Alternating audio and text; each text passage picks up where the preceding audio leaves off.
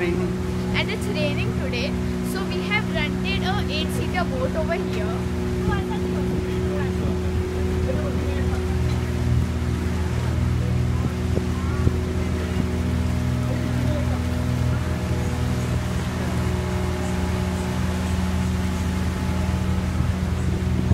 It is very cold over here as you can see and we are wearing this light jackets and this is very nice. So thank you to watching my.